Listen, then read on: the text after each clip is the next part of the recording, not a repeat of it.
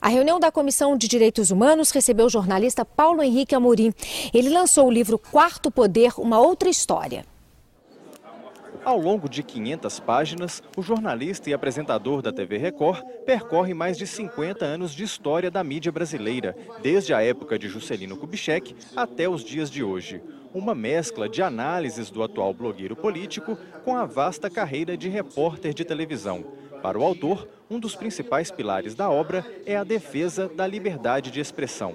É uma tentativa de contribuir para a liberdade de imprensa do país, é tentativa que se associa, por exemplo, ao trabalho feito aqui nessa casa, nessa Assembleia, e que eu acompanhei através, por exemplo, do bloco Minas Sem Censura.